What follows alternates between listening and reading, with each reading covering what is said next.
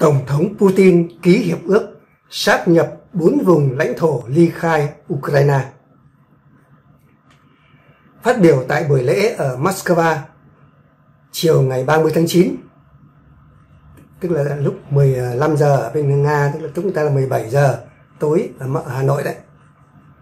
Tổng thống Vladimir Putin bày tỏ sự ủng hộ đối với việc sát nhập các vùng Donetsk, Lugansk, Kherson và Zaporozhye vào Nga.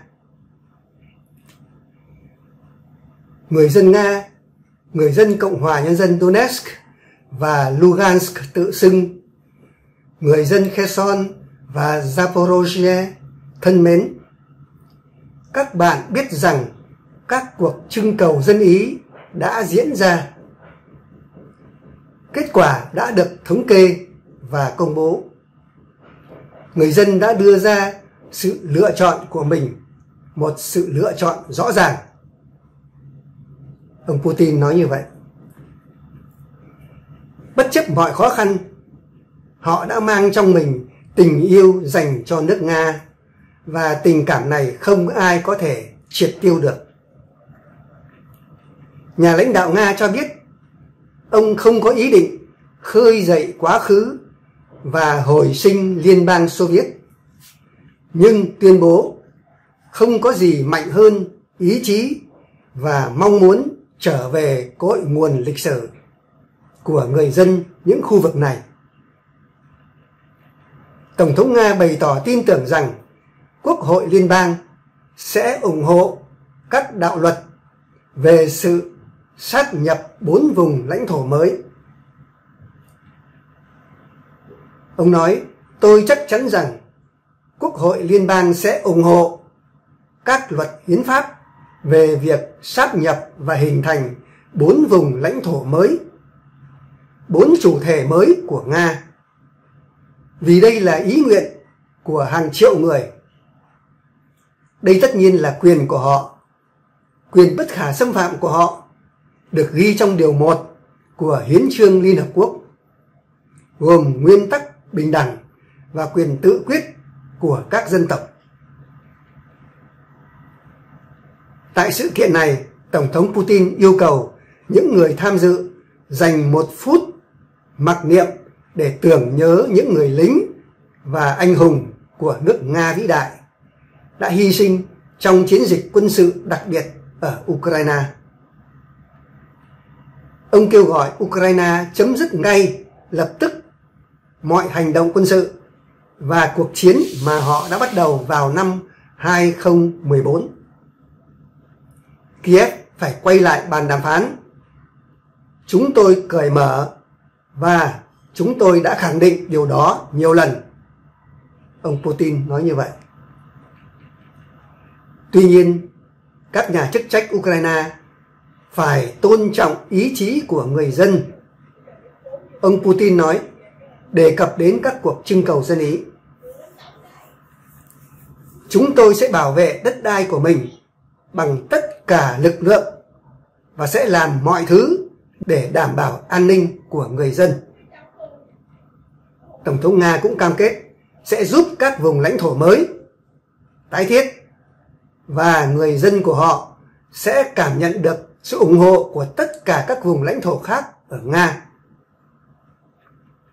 Ông Putin lặp lại những tuyên bố trước đây rằng phương Tây đang tìm cách làm suy yếu Nga và khiến nước này phải quỳ gối kể từ khi Liên Xô sụp đổ. Ông cáo buộc phương Tây tham lam và muốn Nga trở thành thuộc địa của mình. Tuy nhiên, Nga là một đất nước tuyệt vời với một nền văn minh vĩ đại, không chịu sống theo những quy tắc sai trái của phương Tây. Nhà lãnh đạo Nga cáo buộc Mỹ và các đồng minh tiến hành một cuộc chiến tranh hỗn hợp chống lại Nga. Ông nói rằng phương Tây không có quyền nhắc đến dân chủ và có cơ sở để tin rằng các nước phương Tây không tìm cách thoát khỏi cuộc khủng hoảng lương thực toàn cầu. Kết thúc bài phát biểu của mình, Tổng thống Nga Putin đã ký hiệp ước sáp nhập bốn vùng lãnh thổ mới cùng lãnh đạo các khu vực này. Các nhà lãnh đạo từ bốn vùng lãnh thổ, chủ trương ly khai của Ukraine trước đó, đã chụp chung một bức ảnh khi đến Moscow dự lễ sát nhập do Tổng thống Nga Vladimir Putin chủ trì. Bức ảnh được chia sẻ bởi lãnh đạo Zaporozhye Yevgeny Balitsky. Ông đứng cạnh người đồng cấp Kherson, Vladimir Sando lãnh đạo Cộng hòa Nhân dân Donetsk tự xưng, Denis Pushilin và lãnh đạo Cộng hòa Nhân dân Lugansk tự xưng, Leonid Pasechnik. Các khách mời khác của sự kiện bao gồm các nghị sĩ và bộ trưởng. Lễ sáp nhập diễn ra sau khi bốn vùng ly khai bỏ phiếu đồng ý trở thành một phần của Nga. Đây là chương trình phát sóng trực tiếp Moscow 24 giới thiệu cuộc bỏ phiếu tại Cộng hòa Nhân dân Tự xưng Donetsk, tức là DPR 99,23% người dân ủng hộ xác nhận ủng hộ gia nhập Nga. Tại Cộng hòa Nhân dân tự xưng Lugansk, viết tắt LPR, Zaporozhye và Kherson, tỷ lệ ủng hộ lần lượt là 98,42%, 93,11% và 87,05%.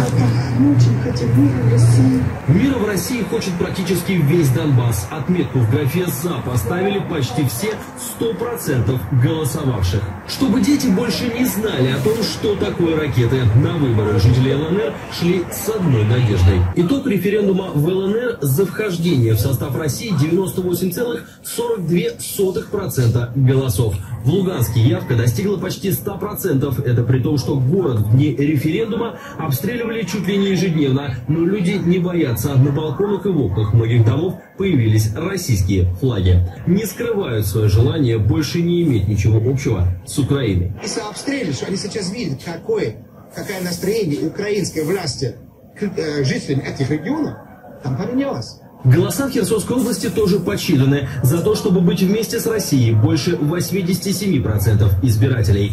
Центр избирком в Мелитополе. Сюда по окончании референдума привозят все бюллетени. Пять дней жители Запорожья выбирали свою дальнейшую судьбу. Сначала через мобильные пункты, затем на участках. По итогам референдума в Запорожской области за вхождение в состав России проголосовали более 93% избирателей. Ukraine và các đồng minh phương Tây từ chối công nhận kết quả cuộc trưng cầu dân Ý mà họ cho là bất hợp pháp.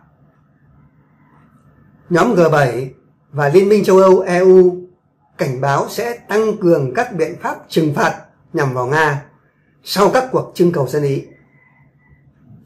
Đáp lại, Nga và các vùng ly khai khẳng định các cuộc trưng cầu dân Ý tuân thủ quy định và nguyên tắc quốc tế.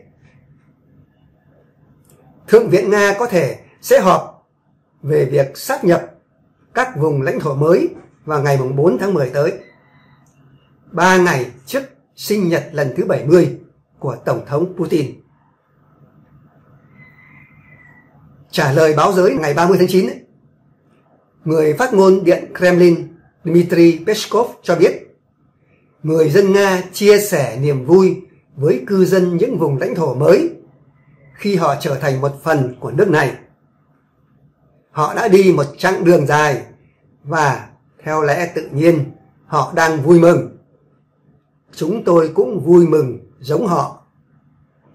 Ông Peskov cũng cảnh báo Nga sẽ coi các cuộc tấn công vào những vùng lãnh thổ mới của mình là hành động khiêu khích